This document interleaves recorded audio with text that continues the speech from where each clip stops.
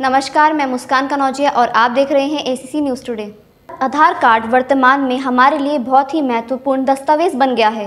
यह न केवल व्यक्तिगत वितरण, बल्कि इसमें हमारी बेडरूम बायोमेट्रिक जानकारी भी है।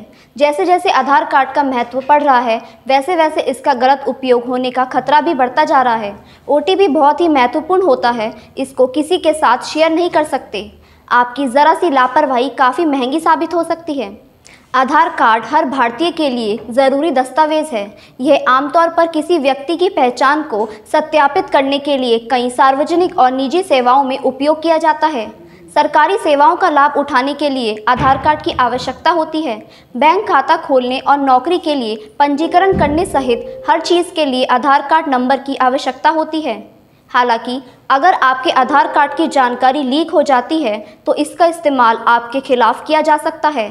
यदि आप आधार कार्ड का इस्तेमाल करते हैं और आपके मोबाइल पर ओटीपी नहीं आ रहा है, ऐसे में आपको सतर्क रहना चाहिए।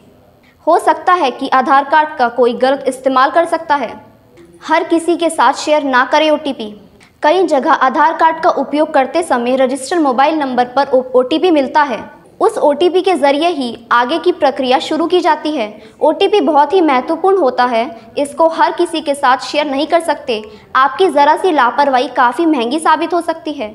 अगर आप आधार कार्ड का यूज़ कर रहे हैं तो आपको ओटीपी नहीं मिल रहा है तो आप अलर्ट हो जाइए। आपको सावधान होने की ज़रूरत है, क्योंकि आपको आधार का गलत उपयोग हो सकता है, जो आगे जाकर आपको बहुत बड़ी मुसीबत में डाल सकता है।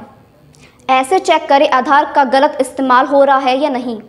सबसे पहले UIDAI की आधिकारिक वेबसाइट पर जाइए। इसके बाद आधार सर्विस में जाकर आधार ऑथेंटिकेशन हिस्ट्री को चुनें।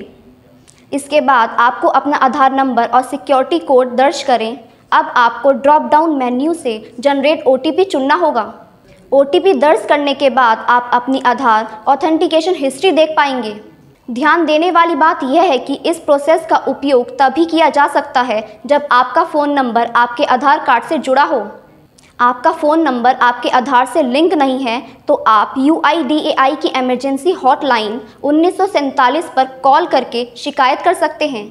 आप सहायता के लिए help at the rate U पर भी संपर्क कर सकते हैं।